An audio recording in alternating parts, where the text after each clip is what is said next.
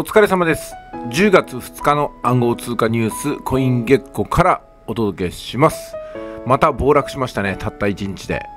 時価総額が20兆円ほど下がりました。まずいつも通り左上から見ていきましょう。上場しているコインが14,749まあ毎度毎度言いますけども今度こんなコインが上場するんですよ。ここだけの情報ですよって言いますけども毎日上場してるコインは3個とか5個とか10個とかあるんですよ。このコイン月間を見ると分かるでしょう。毎日上場してるコインがあるのが。その上場してるコインの情報はあなたのところに届かないんだけどもよくわかんない上場予定のコインの情報はあなたのところに届くわけですよ。ね。だったらオフィシャルのこのコイン月間のホームページ見て、えー、最初にね基礎情報を整えていっていただいてそしてこんな裏情報があるんですよっていうのに耳を傾けていただければいいんじゃないですか。多くの方はその逆になっちゃってるんですよ。なんかね、爆上げ予定のコインの情報だけ知ってて暗号通貨のことが分かってるというふうに錯覚しちゃうんですけども、逆でですね、こういったコイン月個のサイト一つ扱えずに、まあ、暗号通貨の情報は分かりませんからね、基礎から学んでいっていただきたいと思います。で、次、取引所の数が、えー、1200の2個ですね、えー、これも1200個を超えたのはつい最近ですけども、1日に取引所の数は1個とか2個、まあ、場合によってはゼロですね。そんな感じでしか増えてません。まあでも、増えたのと同時に潰れてるところもありますんで、差し引きってことですけどね。さあ、そして時価総額ですけども、320兆円です。この320兆円がどんな規模かってことが、いまいちわからない方は、まだ経験不足だと思います。えー、実はね、今年の始まりのあたりでは、時価総額が430兆から400兆円。安い時でも370兆円ぐらいあったんですよ。そこから比べるとかなりの暴落をしてそのまま上がっていないっていう状態ですよね。だいたい時価総額が320兆円ってことはビットコインが900万円を切ってるんですよ、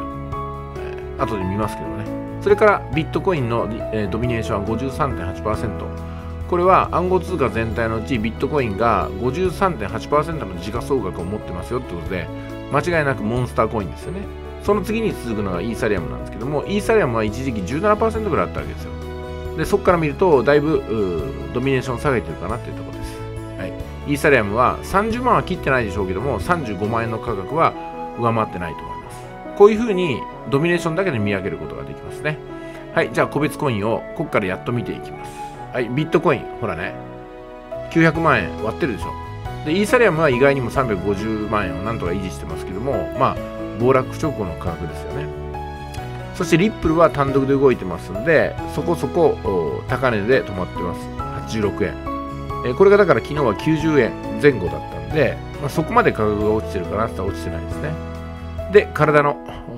これがね最近60円に行くかなと思ったところだったんですけどもやっぱり50兆円あ50円ですか。50円を踏みとどまっているところでなんとか止まってるかなと。そして柴犬コインです、はい、これは今年の初旬0.0014円以下だったら買いましょうところから今倍ほどになってますけども、うん、でもねやっぱり柴犬のコインの価格の当たりぐらいはもうつけとかないといけないですね。柴犬が有名だったのはイーロン・マスクさんが紹介したからだったんですけどもその時に50万倍になってるわけですよ。送り人がかなり生まれてました。当時柴犬コインはもう上場した後だったんですけども上場後のコインにねチャンスがあるっていうことの所作だと思います。上場前のコインのセールスっていうのは基本的にしないんですよ。ね、だって上場した後に買ってもらうから値段が上がるわけでしょ？上場前に徹底的にプロモーションかけてセールしちゃったら上場後に下がるってことになっちゃいますからね。はい暴落直後のコイン月光でした。また明日。